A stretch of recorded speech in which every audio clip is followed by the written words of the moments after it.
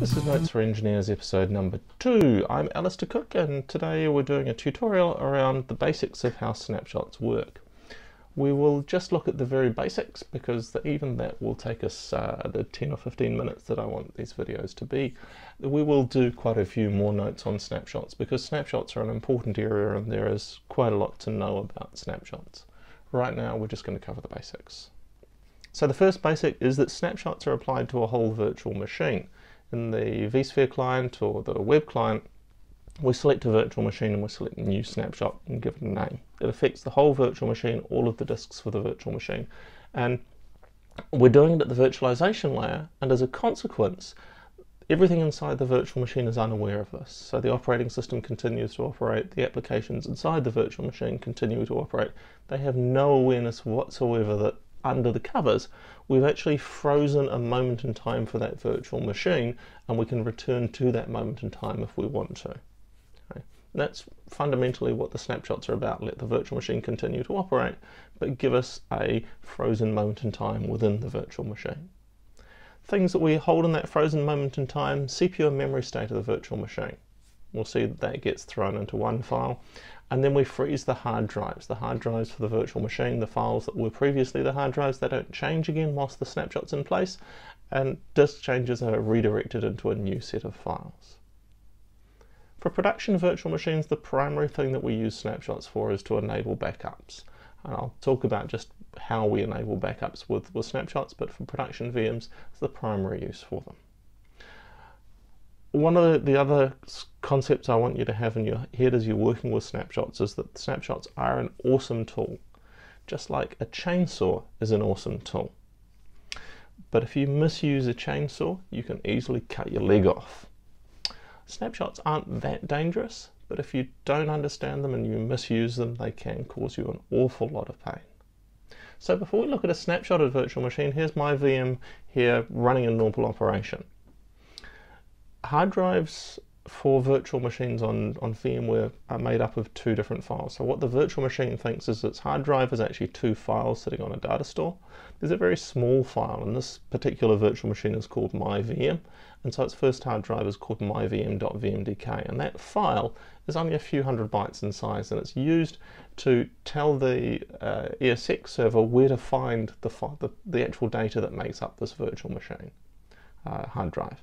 So the hard drive itself, the binary data, the actual files and blocks and everything that is what the virtual machine is storing on its hard drive lives inside that flat file. So my VM underscore uh, my underscore VM dash flat dot vmdk is where all the hard drive data is.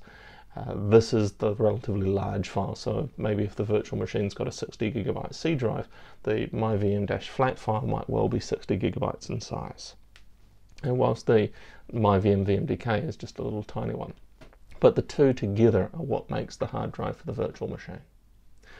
Virtual machine in normal operation opens that flat file for reads and writes. It reads data directly from it, it writes data directly to it. This is the way normal operation works. It's just like there was a hard drive there. As far as the VM is concerned, there is.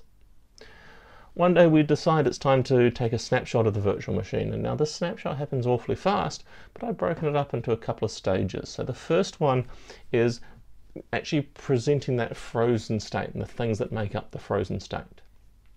One of the things that happens is that the virtual machine closes the flat file. It's no longer going to make changes because we have to freeze the state of the flat file. From here on in, as long as the snapshot, called snapshot 1, is in place, that flat file will not change. It will only ever be read by things as long as the snapshot's in place. The second thing that makes up that moment in time for the virtual machine is its memory and CPU state, and that's this new file you can see on the right, myvm lots of zeros 1.vmss. That combination of that frozen flat file and that VMSS file between them represent the state of the virtual machine at that moment when we snapshotted it. So those together are the things that make that state. Of course, the operating system is going to continue to operate, so we need somewhere to redirect the changes, and that's this green pair of files. And again, there's a VMDK file that is small and describes where the actual data is, and then there's a larger data file. Now this isn't a flat file, it's instead a delta file. And delta of course means change, and this is where all of the blocks that the virtual machine has written to and changed since the moment of the snapshot is stored. So the virtual machine's disk writes now are redirected into that delta file. Of course, that means that we have to look for blocks. When there's a read, we have to look in the delta file first. If the block's changed since the snapshot, we'll find it in the delta file and we'll return to the virtual machine that updated contents that's in the delta file. If the block hasn't changed, the, the seek in the delta file will be amiss. This, that block doesn't exist here. Consequently, we know that it hasn't changed since the snapshot. We can look for that block back in the flat file because it hasn't changed. It's still there in that, that original state. So the delta uh, file contains every block that the virtual machine has written to since the snapshot moment. And here I'm going to drop out all the file names and just have some block numbers. And so you can see that the flat file contains lots and lots of blocks. All of the blocks that, that contain data at the moment we took our snapshot. And then the green delta file contains only the blocks the VM has written changes to. Now it doesn't store a list of all of the changes that were made, it stores the up-to-date contents of each block. So you can see that blocks 17 and 85 are both in the delta file. They've been changed by the virtual machine since the snapshot. Now it could be that the virtual machine is repeatedly writing to block 17. Maybe it's a log file and new log entries are being appended to the end of the file. And they all live within block 17. We only store one copy of block 17 in that delta file and it's the most up-to-date copy. Okay? So the delta file can't grow beyond the size of the hard drive that it's a snapshot of. So if that flat file represented a 60 gigabyte hard drive, the delta file should stay no, smaller than 60 gigabytes. Now that's one of the big dangers with snapshot files, is those delta files do grow. As long as the snapshot is in place, the delta file will continue to grow over time, and it will grow quite unevenly, depending upon what the virtual machine is doing. The more things the virtual machine writes to disk, the larger the delta file grows. And we see there's, when you first snapshot the virtual machine, there's a fast growth at the start and then it slows down a little bit and it depends a lot. It can be unpredictable. Uh, this growth of the delta file is what causes us to run out of space on the underlying data store most often. Usually if you run out of space on a data store, because you've got a snapshot in place on a virtual machine, the delta file has chewed up all of the free space. That's a really bad thing. You don't want that to happen. And that's the primary reason why we like to get rid of snapshots after they've been around for a while. We want to delete those snapshots. Now, the main reason we have these snapshots on production virtual machines is to enable the virtualization aware backup. Uh, VM-aware backup involves copying those flat files out. Now, before the snapshot was in place, the virtual machine had the flat file open for reads and writes. And that meant that nothing else could open the file for reads or writes. Once the snapshot was in place, the flat file is opened read-only. Files can be opened read-only by multiple things because nobody's changing the file, there's no possibility of, of corrupting data. Uh, and so the backup application will simply open the file for reads. It'll copy that flat file out whilst the virtual machine is in normal operation. This is how the virtualization aware backups work. They snapshot the virtual machine, copy out the flat file, and then they delete the snapshot afterwards. That last stage of deleting the snapshot is really important. So virtualization aware backup, snap VM, copy flat file, delete snapshot, move on. The function of the delete snapshot what we need to do when we get rid of the snapshot, we no longer need to hold that moment in time, say it's usually because the backup's finished, is that we have to take all of the blocks that have changed since the snapshot, write them over the now out-of-date contents in that, that flat file, and then we can get rid of the delta file and the, the, VMSS file. So that's what we've got here, blocks 17 and 85 that are in the, the delta file. Their data is being overwritten on top of the data that was in the, the flat file.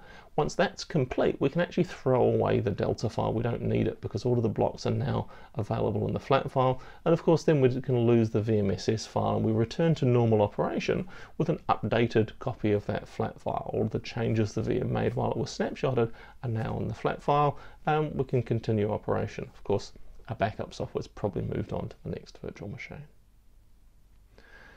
those are the that's the fundamentals of how a VMware snapshot works. It's it's not a particularly complicated process. Um, it gets more complicated as we add more pieces. Important things to know: we're snapshotting a whole virtual machine. Once the VM is snapshotted, the delta file will grow, and they can grow to be very large. Takes a while, might require the virtual machine to be doing something silly, but they can grow over time and they are something to be very watchful for. Other things to understand about a snapshot is that they're not there for restoring uh, parts of a virtual machine. When we've got a snapshot in place, it's an enabler of a backup. It's not actually a backup itself. You can't extract from that snapshot two or three files that uh, need to be injected back into the virtual machine. Right? You need to have used a backup application that will enable that to happen.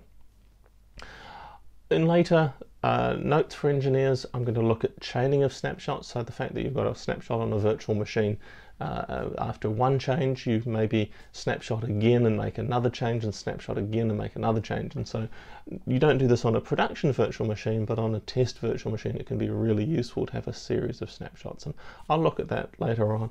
I'll also look at some of the, the more detail about how snapshots work and particularly how that deleted snapshots works and then we'll look at some of the risks and dangers around snapshots and how to think about snapshotted virtual machines. This has been episode number two of Notes for Engineers uh, and it's the fundamentals of how snapshots work. Keep going back to notesforengineers.com and keep an eye out for later tips where I will talk some more about how snapshots fit together and the dangers when you use them. Have fun.